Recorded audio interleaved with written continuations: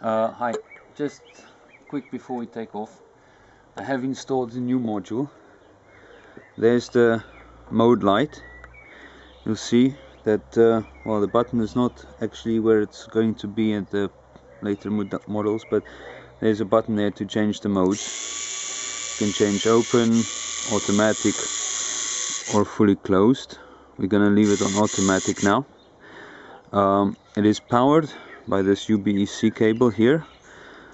Not with the TX at the moment. This is fully automatic. No intervention from my side is possible. There's the power cord there's the outlet. Alright I'm gonna take it for a spin. Uh, just a quick note. If you want to change the altitude of opening and closing you will reset it where you want the opening and closing to happen and then switch it back to automatic mode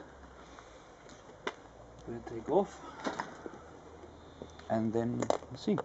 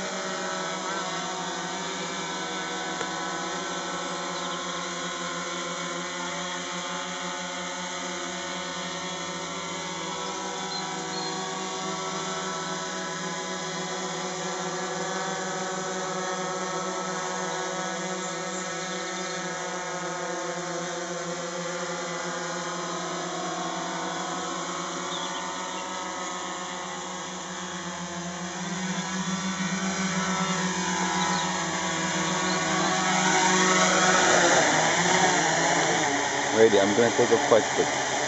Ah.